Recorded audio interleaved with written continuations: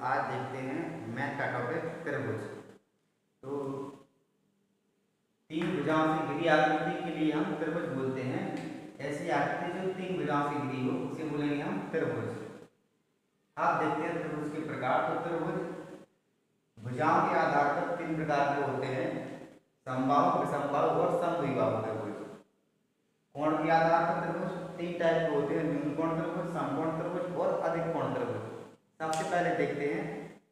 भुजाओं के आधार पर सबसे पहला है समबाहु त्रिभुज। ऐसा त्रिभुज जिसकी तीनों भुजाएँ समान होती हैं, उसे बोलते हैं समबाहु त्रिभुज। जैसे कोई त्रिभुज है ए बी सी इसकी एक भुजा की लंबाई है आपकी दस और ए आपकी दस ए आपकी दस। तीनों भुजाएँ आपकी बराबर होती हैं। ऐसा त्रिभुज जिसकी तीनों भुजाएँ बराबर हो, उसे क्या बोलेंगे हम? समबाहु या इक्विलेटरल त्रिभुज। समबाहु आप देखते हैं समबाहु त्रिभुज ऐसा त्रिभुज जिसकी तीनों भुजाएँ अलग अलग होती हैं। जैसे कोई त्रिभुज है? ए बी सी एक भुजा है आपकी सात एक भुजा है आठ और एक भुजा है आपकी ए तेरह। तो ऐसा त्रिभुज जिसकी तीनों भुजाएँ अलग अलग हैं, उसे क्या बोलेंगे हम? विषमबाहु त्रिभुज। अब देखते हैं समद्विबाहु त्रिभुज ऐसा त्रिभुज जिसकी दो भुजाएँ बराबर होती हैं। ए बराबर ए जैसे हमने मान लिया इसकी लंबाई आठ और इसकी लंबाई आठ है इसकी मान लो चार है। ऐसा त्रिभुज जिसकी दो भुजाएँ बराबर होती हैं, उसे क्या बोलेंगे हम? समद्विबाहु त्रिभुज तो भुजाओं के आधार पर तीन टाइप के होते हैं समबाहु त्रिभुज समद्विबाहु त्रिभुज और विषमबाहु त्रिभुज अब देखते हैं दोस्तों कोण के आधार पर? तो कोण के आधार पर त्रिभुज तीन टाइप के होते हैं न्यून कोण त्रिभुज नंबर एक न्यून कोण त्रिभुज नंबर दो आपका समकोण त्रिभुज नंबर तीन अधिक कोण त्रिभुज अब देखते हैं सबसे पहले न्यून कोण त्रिभुज ऐसा त्रिभुज जिसके तीनों कोण नब्बे डिग्री से कम होते हैं, जिसके तीनों के तीनों कोण जो आपके नब्बे से कम होते हैं। जैसे मान लो ए आपका सत्तर है, और ए वाला अस्सी है, और ए वाला तीस होगा क्योंकि त्रिभुज के तीनों कोणों का योग एक सौ अस्सी होता है। किसी भी त्रिभुज में तीनों कोणों का योग कितना होता है? एक सौ अस्सी। अब देखते हैं दोस्तों, समकोण त्रिभुज सम या फिर राइट एंगल ट्रायंगल ऐसा त्रिभुज जिसके, जिसका कम से कम एक कोण आपका नब्बे डिग्री का होना चाहिए। कोई त्रिभुज है ए बी और सी इसका एक कोण है नब्बे। तो एक कोण आपका त्रिभुज आपका समकोण त्रिभुज होगा। अब देखते हैं अधिक कोण त्रिभुज।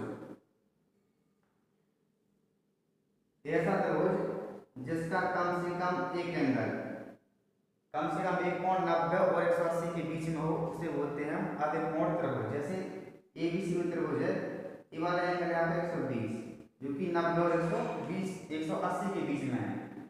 ए आपका एंगल नब्बे और एक सौ अस्सी के बीच कुछ भी हो सकता है। तो ऐसा त्रिभुज जिसका कम से कम एक कोण आपका एक सौ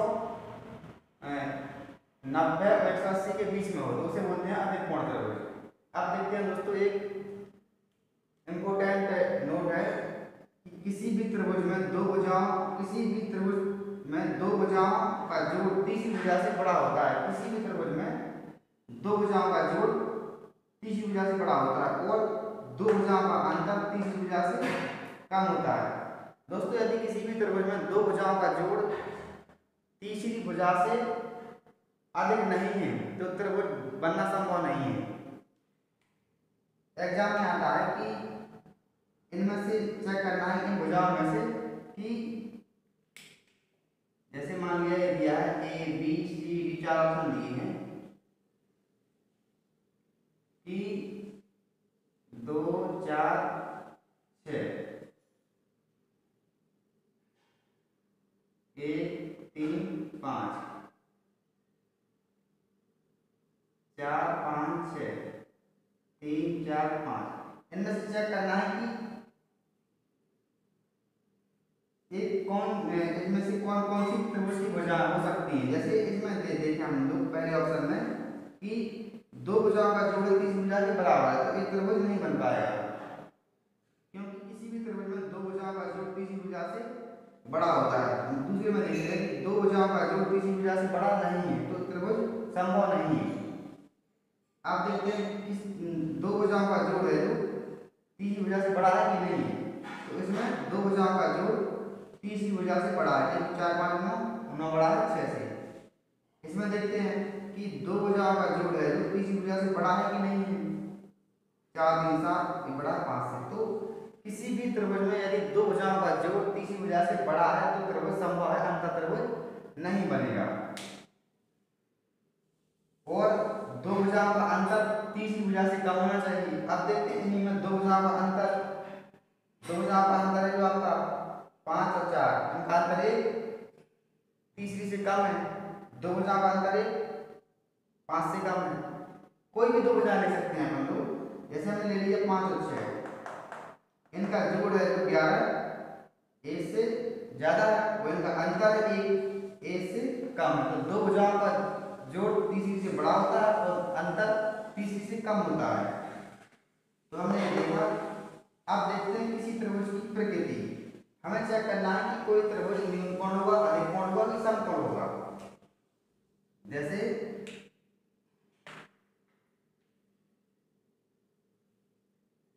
भुजा दी गई है जैसे मान लो कि कोई त्रिभुज है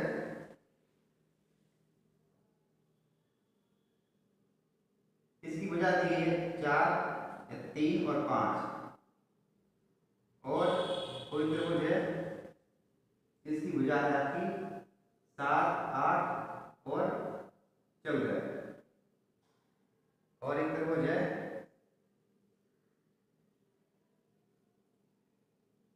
ये है आपका तीन तीन और पाँच।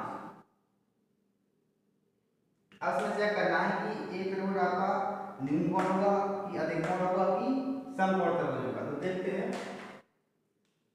यहाँ पे यदि दो भुजाओं के वर्गों का जोड़ तीसरी भुजा से बड़ा है, तीसरी भुजा मतलब यहाँ पर सी है जो बड़ी भुजा है त्रिभुज की यदि दो भुजाओं के वर्गों का जोड़ तीसरी भुजा के वर्ग से बड़ा है तो न्यून कोण होगा?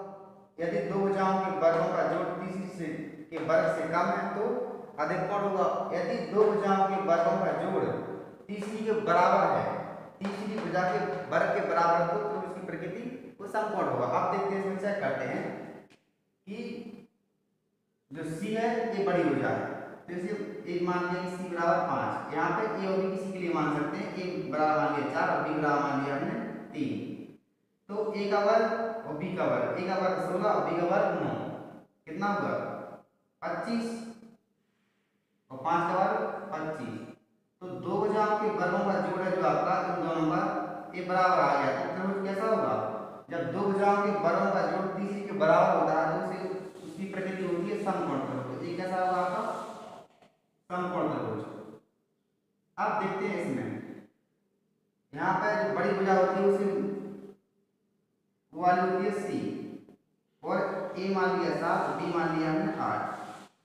ए का वर्ग उनचास बी का वर्ग चौंसठ सी का वर्ग एक सौ छियानवे, चौदह वर्ग चौदह सौ छियानवे। इसे जोड़ते हैं नौ, चार, तेरह हासिल एक, और छः चार, दस, एक, ग्यारह, एक सौ तेरह। यहाँ पे एक सौ छियानवे। तो दो भुजाओं के वर्गों का जोड़ तीसरी भुजा के वर्ग से कम है। एक कंडीशन है आपकी, दो भुजाओं के वर्गों का जोड़ तीसरी से कम है तो त्रिभुज की प्रकृति कैसी होगी? एक होगा आपका अधिक कोण त्रिभुज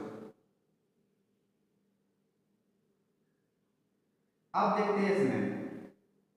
बड़ी भुजा होती है तो आपकी सी और ए मान लिया ऐसे और बी मान लिया हमने ऐसे तो दो भुजाओं के वर्गों का जोड़, तीन त्रिका नौ, तीन त्रिका नौ नौ, अठारह।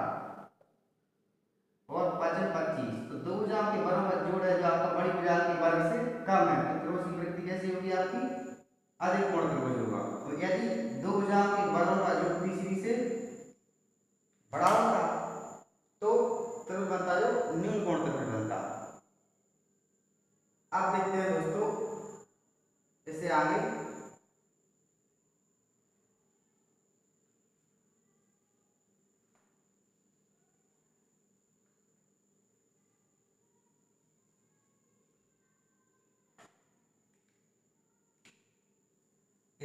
देखते हैं दोस्तों।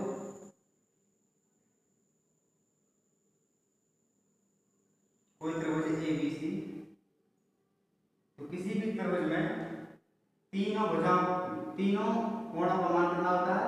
एक सौ अस्सी। इसका मतलब है ए प्लस के बी प्लस के सी बराबर एक सौ अस्सी। इसे ध्यान रखना है। अब देखते हैं त्रिभुज का बहस कोण दोस्तों देखते हैं त्रिभुज का बहस कोण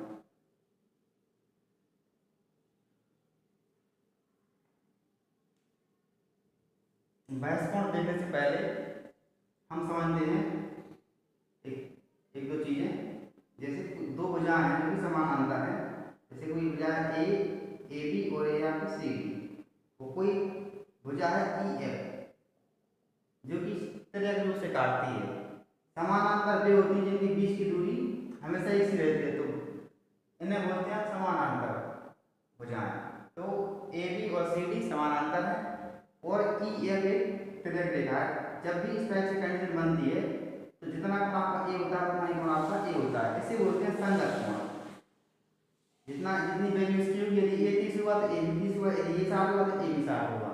इसे बोलते हैं संगत कोण। और इसी टाइप से ए वाले देख रहे हैं इसके संगत है आपका ए जितना कोण आपका ए होगा, इतना कोण आपका ए होगा। तो ऐसे इसे दे दिया हम नंबर एक यहाँ दे दिया नंबर दो। और किसी दे दिया हम नंबर तीन और किसी दे दिया नंबर चार? तो एक कोण एक बराबर होता है कोण दो।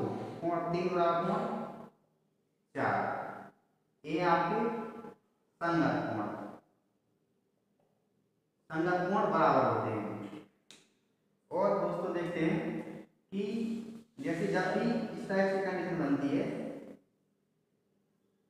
ए वाली कंडीशन कोई भुजा कदक काटती है तो जितना आपका कोण ए होता है, उतने कोण आपका ए होता है। आमने सामने के जो कोण है, वो बराबर होते हैं। जैसे मान लीजिए ए आपका थीटा तो ए भी थीटा हुआ।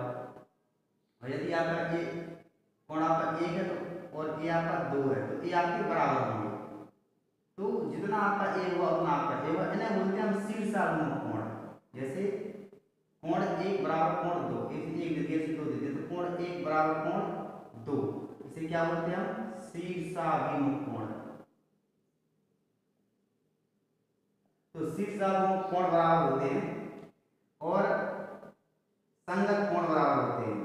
इसकी संगत ए इसकी संगत ए और देखते हैं दोस्तों, यहाँ पे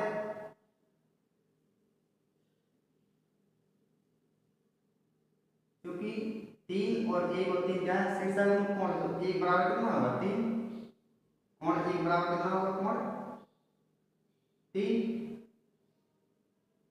और एक बराबर है आपके दो के। एक बराबर दो के। कौन एक बराबर कौन? दो है। अब जब बाया पक्ष बराबर तो दाया पक्ष बराबर होगा तो मतलब कोण दो बराबर कोण तीन होगा कोण दो बराबर कोण तीन हुआ। अब चूँकि दो बराबर है आपका चार का तो कोण दो बराबर है आपके चार का तो कोण चार बराबर कितना होगा कोण तीन की, क्योंकि दो और चार है आपके शीर्षाभिमुख कोण है। तो तीन बराबर होता है आपका चार के। तीन बराबर है आपका एक के एक शीर्षाभिमुख कोण है, एक संगत कोण है तो कोण एक बराबर कोण चार। या फिर ऐसे याद रख सकते हैं कि यहाँ पे जो कंडीशन बनती है जेड वाली, इसे बोलते हैं एकांतर कोण। कोण एक बराबर कोण चार, इसे क्या बोलेंगे हम? एकांतर कोण। तो एकांतर कोण बराबर होते हैं संगत कोण बराबर होते हैं और शीर्षाभिमुख कोण बराबर होते हैं। इसमें ज़्यादा भ्रमित होने की आवश्यकता नहीं है, इसके लिए अलग से वीडियो बनाएँगे। तो केवल रखना है कि संगत कोण आपके बराबर होते हैं अभी। जितना ए आपका उतना ए होगा। अब देखते हैं जैसे कोई त्रिभुज है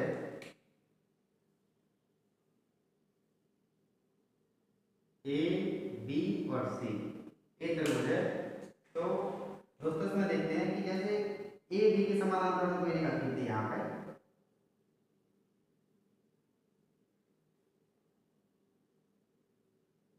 और इसके लिए हम थोड़ा और आगे बढ़ा दिया। तो देखिए दोस्तों इसमें ये दोनों समानांतर रेखा होंगी और ए वाली तिलक रेखा होगी तो जितना कोण आपका ए होगा, उतना कोण आपका ए होगा। और यदि इसमें देखा जाए, इसे और आगे बढ़ा दिया जाए तो जितना कोण आपका ए होगा, उतना कोण आपका ए वाला होगा। जैसे कोण ए मान लिया ए है तो ए जेड वाली कंडीशन बन रही है तो ए भी होगा आपका ए। और ए आपका मान लिया बी है तो इसके संगत कोण आपका ए है तो ए भी होगा। तो इसे बोलते हैं पूरे त्रिभुज की, इस पूरे एंगल के लिए बोलते हैं बहस कोण। त्रिभुज ए बी सी का। तो इसके लिए दे दिया नाम, मान लिया पूरे के लिए दे दिया डी। तो डी बराबर होता है ए प्लस बी के। डी का मान होता है, त्रिभुज के अंत कोणों के के बराबर। किसी भी त्रिभुज का बहस कोण, उसके दो आंतरिक कोणों के योग के बराबर होता है। बस इतना याद रखना है। जैसे यहाँ पे कोई सवाल दिया गया इस टाइप से। ए बी सी डी कोई त्रिभुज है? ए ए बी त्रिभुज है। इसका मान है सत्तर, इसका मान है तीस। तो हमें है कि इसका बहस कोण कितना होगा? इसका मान कितना होगा? डी डी क्या है आपका? बहस कोण तो डी का मान होता है आपका दोनों के जोड़ के बराबर होता है सत्तर प्लस के तीस, बराबर सौ। तो किसी भी त्रिभुज का बहस कोण दो आंतरिक कोणों के जोड़ के बराबर होता है। अब देखते हैं दोस्तों, अगली कंडीशन कोई त्रिभुज है इस टाइप से ए बी और सी ए बी का मध्य बिंदु है आपका ए और बी और सी का मध्य बिंदु आपका ए और ए और सी का ए यदि इनके लिए मिला दिया जाए तो इनसे जो त्रिभुज बनेगा इसका जो क्षेत्रफल है इनके बराबर होता है यदि किसी त्रिभुज के भुजाओं के मध्य बिंदुओं के लिए मिला दिया जाए तो त्रिभुज बनेगा। उसका क्षेत्रफल शीर्ष तीनों के बराबर होता है, जितना आपका इसका होगा उतना इसका होगा इतना आपका इसका होगा उतना तो तीनों के बराबर होता है। जैसे मान लो कि इसका क्षेत्रफल है मान लो पच्चीस पच्चीस वर्ग मीटर पच्चीस वर्ग मीटर इसका होगा, पच्चीस वर्ग मीटर इसका होगा, पच्चीस वर्ग मीटर इसका होगा। यानी पूरे त्रिभुज ए बी सी का ए बी सी का पच्चीस चौके सौ। सौ वर्ग मीटर होगा। जैसे यहाँ कोई सवाल दिया आप, आपके लिए कि ए बी सी कोई त्रिभुज है और इसका जो क्षेत्रफल है ए बी सी का। ए दे रखा है मान लो 120 वर्ग मीटर। और हमें निकालना है कि इसके मध्य बिंदुओं से बने त्रिभुज का क्षेत्रफल। तो इसमें चार से लगा दें। यानी चार भागों में बांट दें इसके लिए। तो इसका कितना होगा? 120 बटे चार। तीस वर्ग मीटर होगा इसका। कितना होगा? तीस। तीस इसका होगा, तीस इसका होगा, तीस इसका होगा। तो किसी भी त्रिभुज में यदि त्रिभुज की भुजाओं के मध्य बिंदुओं के लिए मिला दिया जाए तो उससे बना त्रिभुज का क्षेत्रफल अन्य तीनों त्रिभुजों के क्षेत्रफल के बराबर होता है। देखा इसमें दोस्तों हम लोगों ने त्रिभुज के बैस कोण का मान आंतरिक कोणों के योग के बराबर होता है और त्रिभुज के मध्य, भुजाओं के मध्य बिंदुओं को मिलाने से जो त्रिभुज बनता है, उसका क्षेत्रफल शेष बने त्रिभुज के, बने त्रिभुजों के क्षेत्रफल के बराबर होता है। थैंक यू दोस्तों।